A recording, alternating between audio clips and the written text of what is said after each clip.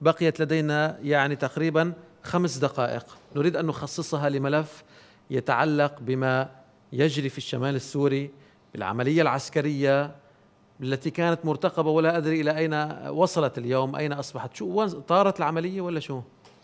موضوع مهم جدا. أشكرك, أشكرك عليه. والعملية العسكرية التركية هي عملية آه، تستعد لساعة الصفر قلناها مرارا. ربما تأخيرها لتأخير إجرائها والقيام بها هي لتحقيق مكاسب سياسية على الطاولة وربما انتظار بعد قمة طهران وسوتشي. الآن ربما نسمع عن بدء العملية قريبا أم أنكم جداً. تنتظرون مصالحة مع نظام بشار؟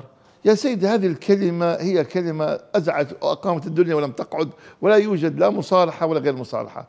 لا تغيير في نهج السياسة الخارجية التركية ضد هذا النظام القاتل. قلناها مرارا وترجمة ترجمت خطأ عندما صرح وزير الخارجية التركي أنه مع استمرار ما يسمى التفاهمات والحوار السياسي الشامل وفق تطلعات الشعب السوري. الترجمة صدرت خطأ من وكالة الأناضول كيف ترجمة يا دكتور؟ وكلام دولة بهتشلي رئيس الحركة القومية وكلام نائب رئيس حزب العدالة والتنمية عن مستقبل العلاقات والاتفاق مع نظام بشار. قال بالحرف إن العلاقات مع دمشق يمكن أن تصبح مباشرة ويمكن أن يرتفع مستواها. هذا نائب رئيس حزب العدالة والتنمية حياتي يازجي. يا سيدي نتكلم لا توجد مصالحة. المصالحة معناها تنازلات.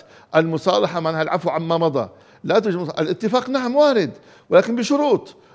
بشروط وربما يكون مرحلة انتقالية. المباحثات المباشرة موجودة أمنيا يعني